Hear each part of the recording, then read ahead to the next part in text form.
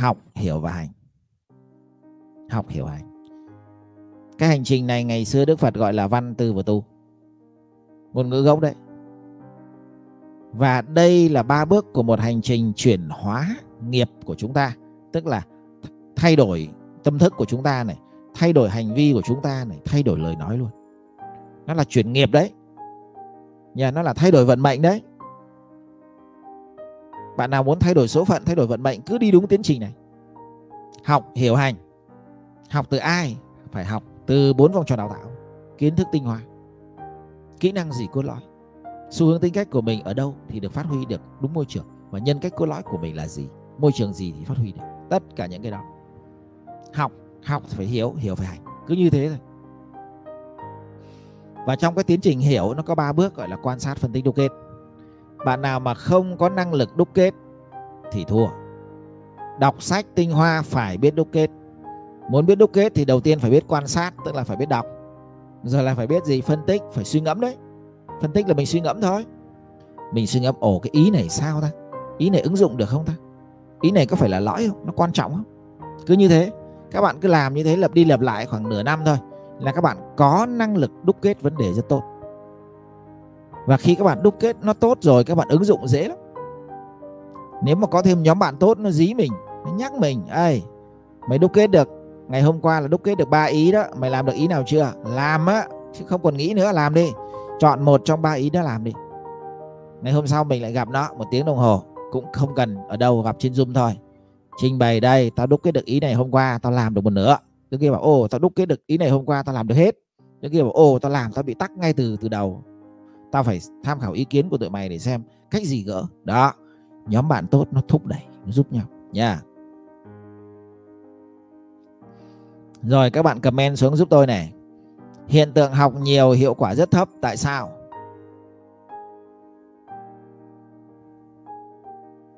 Đây là có hai bức hình.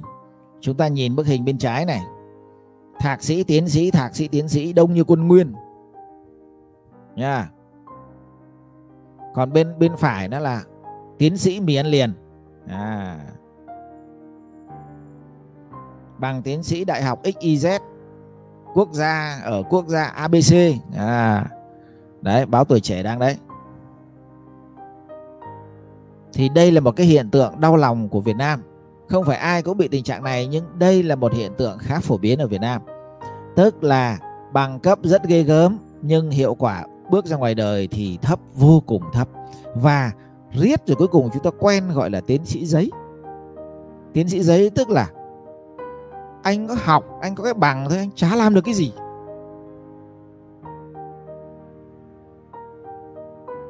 Vậy là nó nằm ở đâu trong cái tiến trình này?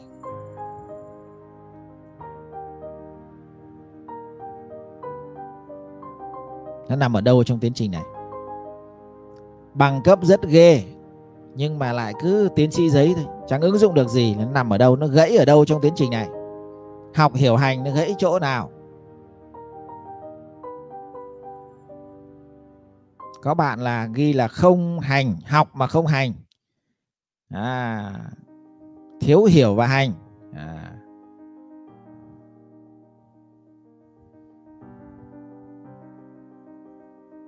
cái người hiểu sâu họ làm được đấy nhá. Cái người hiểu hời hợt không làm được đâu.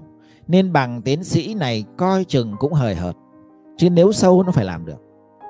Các bạn cứ nghiệm trong cuộc đời của các bạn đi. Tất cả việc gì các bạn hiểu rất sâu sắc 90% các bạn làm thành công. Còn những cái gì các bạn hiểu hời hợt, làm là ách tắc liền, khó liền. Nên tiến sĩ giấy, tức là bước ra ngoài đời làm chẳng cái gì nên hồn cả. Nên thực sự là họ chỉ có một tí học thôi, còn cái hiểu rất hời hợt. Và cái hành thì gần như bằng không cái hiểu rất hời hợt, tức là họ thiếu tiến trình phân tích và đúc kết. Họ chỉ có quan sát, rồi họ đi copy thôi. Phân tích chắc sơ sơ thôi. Còn nếu phân tích sâu, nó phải đúc kết được chứ. Mà đã đúc kết được thành những thứ đơn giản, thành những thứ tinh hoa rồi thì phải thực hành được chứ. Nên họ bị gãy gãy ở cái tiến trình quan sát phân tích đúc kết theo chiều sâu. Và họ gãy luôn tiến trình áp dụng thực tế hai cái tiến trình này bị gãy. Họ chỉ còn cái nền tảng văn lý thuyết thôi. Nha còn cái biết đúc kết của văn chưa chắc đã làm được tốt nhiều khi cũng hời hợt. À. đó nên chúng ta mới thấy một cái công thức của cổ nhân đấy cách đây bang, cách đây 2.600 năm đấy. Mà chúng ta nhìn vào cái nền giáo dục của Việt Nam đi là nó đi được có 10% à. 90% còn lại nằm ở hai yếu tố hiểu và hành không thấy đâu. Được chưa? Chỉ được có một tí văn thôi, một tí lý thuyết thôi. À. rồi. Và ngày hôm nay tôi sẽ giới thiệu các anh chị một cái nhóm, gọi là một cái nhóm chúng ta cùng nhau học với nhau. Lớp tránh kiến đánh thức ý nghĩa cuộc đời. Phiên bản học hiểu hành. Phiên bản có nhóm bạn tốt cùng đốc thúc mình để mình học mình hiểu và mình hành. Đảm bảo là mình học thì phải tiến bộ. Đó, nó gồm 15 buổi nha 15 buổi. Học cốt lõi, hiểu sâu và ứng dụng, và phải ứng dụng thành công. Đó, học là phải tiến bộ, ứng dụng là phải phát triển được bản thân. Thì những bạn nào muốn học cái khóa học này nha, chúng ta học online. Một covid học online không sao đâu tôi đảm bảo khóa này hay ít nhất gấp đôi khóa offline. Tôi dạy những bạn nào đã học offline rồi cứ đăng ký online, cứ học lại, không sao cả. Chúng tôi một tháng vừa qua ngồi là thiết kế lại toàn bộ theo cái phiên bản học hiểu hành đấy. Có bài học, có bài tập và có thang đo. Lưu ý nha, có ba bước lận. Bài học, bài tập và thang đo. Từng bài một nên những bạn nào bước vào đây là phải chấp nhận cam kết đi lâu dài nhá. 15 buổi ấy là là hơn tháng đấy. Một tháng 10 ngày đấy. Sau đó có thể chúng ta lại tiếp tục hành trình thêm một tháng nữa. Ở góc độ là cùng nhau duy trì thành thói quen á. Nên những bạn nào mà nhìn vô đây ngán á, trời ơi học nhiều quá ngán á, thì thôi đừng bước vào. Nha. Yeah. nhưng mà tôi nói thú thực với các bạn một điều là nhìn vô ngán là càng phải bước vào vì nhìn vô ngán tức là mình bị tâm gì? Tâm lười. Cái gì cũng ngán hết tức là mình bị tâm lười tâm ỉ lại. Gà công nghiệp nó quen rồi. Vậy cần đội ngũ nó thúc đẩy mình. Thúc vào đít mình. Bắt mình chạy. Bắt mình tiến bộ. Mình học rồi nó bắt mình làm bài tập. Làm bài tập rồi.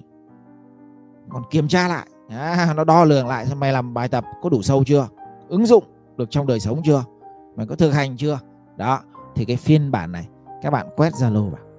Bạn nào không quét được zalo thì bấm vào cái đường link bên trên gnh.vn xuyệt 3h 3h chính là học hiểu hành đấy. Nên từ giờ trở à, đi à, dạ thưa. nên bây giờ từ, từ giờ trở đi chúng ta sẽ có toàn bộ lớp dạy con cũng thế lớp tránh kiến cũng thế và những lớp sau chúng tôi đang thiết kế dần. Cố gắng trong năm 2021 chúng tôi sẽ chuyển khoảng 5 khóa của chúng tôi sang phiên bản học hiểu hành còn phiên bản cũ là phiên bản học cộng với một chút hiểu. Còn phiên bản này học hiểu hành nó đi song song. Nha. Yeah. bật à, dạ thưa thầy. Cho em chia sẻ một chút ạ. Dạ bởi vì uh, cái khóa học này lần này ban tổ chức không nhận nhiều bởi vì có cái hành trình là à, đi cùng với thầy Trần Việt Quân và cả đội ngũ và cả team nhân sự kế thừa rất là hùng hậu vào để đồng hành cùng chúng ta. À, cho nên là riêng lần này thì ban tổ chức không nhận nhiều. Vì vậy thì quý vị nào mà thật sự rất là quyết tâm thì chúng ta mới nên vào cái group này ạ. Chúng ta hãy gõ đường link để chúng ta vào ngay gnh.vn xuyệt 3h à, thì đây là một cái thời điểm quá phù hợp để chúng ta tinh nhuệ chính mình hay là tinh nhuệ đội ngũ như là tất cả những tổ chức của thầy Trần Việt Quân cũng đang làm vào mùa Covid. À, cho nên là ưu tiên cho những cái vị nào mà đã rất là quyết tâm mà đặc biệt những người ở rất là xa những người bấy lâu nay mơ ước đến với tránh kiến mà chúng ta chưa có đến được gnh.vn xuyệt 3h rất là nhiều người đang xin link. À, và có nhiều vị thì cũng đang trăn trở là đợi à, đợi offline để chúng ta học thì à, thật sự là bây giờ với dung lượng của hội trường của viện đào tạo bách khoa tổ chức offline thì chỉ chứa được khoảng từ 6 đến 700 người.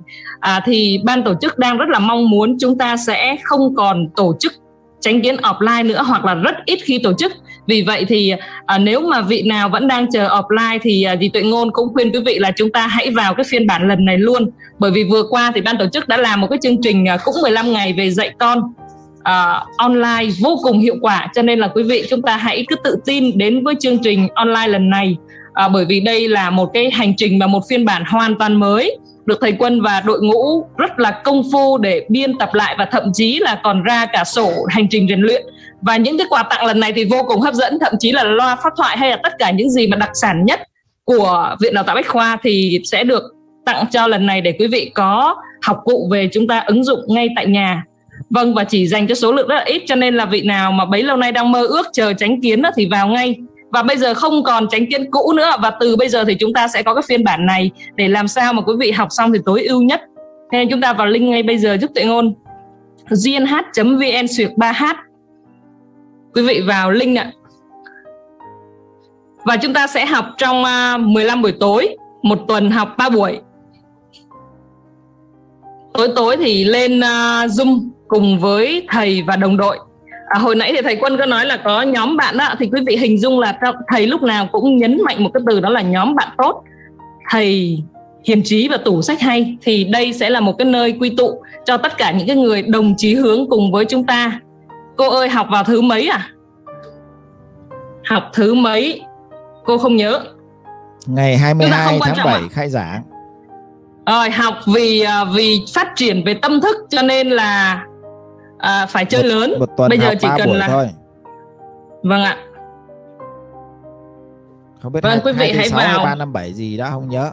Nha ngày 22 các bạn xem ngày thứ mấy thì nó ra.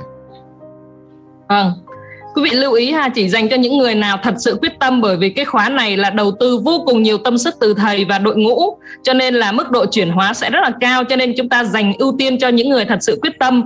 Để rồi sau khi học xong thì quý vị sẽ trở thành một cái đội ngũ cốt lõi để cùng với thầy chúng ta kiến tạo ra rất là nhiều khóa học nữa và trở thành đội ngũ nhân sự kế thừa à, của cái ha của cái phiên bản mới này. Cho nên là à, quý vị hãy à, rất là cân nhắc thật sự là nghiêm chỉnh với cuộc đời của mình thì chúng ta vào ạ. Gnh.vn xuyệt 3h đúng rồi. 3h là học hiểu hành đó 3H đấy. Gnh.vn rồi học phí ở Viện Đào tạo Bách Khoa thì lúc nào cũng rẻ hơn đi nhậu. Nên là cứ vào đó đi nếu mà ai bấy lâu nay cứ cuối tuần hay đi nhậu thì chỉ cần bỏ đi một hai tuần không nhậu với bạn bè là đã đủ tiền học phí để học rồi. 15 buổi nó chỉ tương đương với lại những cái buổi mà nếu mà quý vị có con rồi chở đi học tiếng Anh mỗi tối ấy, thì là tương đương một tối như vậy. Chúng ta học tránh kiến thì bằng chở con đi học thêm tiếng Anh mà thôi. Nhưng mà lần này thì quà tặng thậm chí kể cả loa phát thoại hay là à, những cái bộ thang đo thầy đã cùng với đội ngũ để mà thiết kế để mà giúp cho chúng ta thấu hiểu được bản thân rất là rất là nhiều những cái bức tranh để chúng ta thấu hiểu về bản thân rất là nhiều những cái à, công cụ sẽ được tặng thành cái bộ kit lần này để quý vị có uh, công cụ để chúng ta học hiểu hành thấu hiểu chính mình và tìm ra ý nghĩa cuộc đời. Vâng tất cả gần như là uh, một cái bản đồ cho chúng ta trong cái cuộc đời này biết đâu đúng là sai làm sao để chúng ta vững vàng để quay vào bên trong. Thì uh, tất cả đều có ở trong lớp tránh kiến này. Chị tuệ ngôn vẫn thường nói với cộng đồng đó nếu mà ai trong cuộc đời này chỉ được học một khóa của thầy trần việt quân thì rất nên học khóa tránh kiến này đấy chính là tránh kiến 3H lần này tránh kiến học hiểu hành đó. Vâng rất là nhiều. Những người gì dặn nhá những ai rất là quyết tâm chúng ta mới vào nhé. Rất là quyết tâm bởi vì lần này thì ban tổ chức chắc chắn sẽ không nhận được nhiều. Vì đội ngũ và thầy sẽ cùng phải đồng hành để cho quý vị chúng ta còn à, học xong chúng ta làm sao để chúng ta hiểu và chúng ta hành để đưa ứng dụng vào đời sống luôn à, đặc biệt là nếu mà covid mà à, nâng đỡ chúng ta ở lại lâu một chút đó, thì cái hành trình đó lại càng tốt hơn. Subscribe nhấn vào nút chuông để nhận được thông báo khi có video mới nhất từ thầy Trần Việt Quân bạn nhé. Chánh kiến phiên bản mới. Cập nhật nhiều nội dung. Lôi cuốn, hấp dẫn. Chuyển hóa bản thân và gia đình Đánh thức ý nghĩa cuộc đời, phiên bản mới. Truy cập bka.edu.vn ck 3h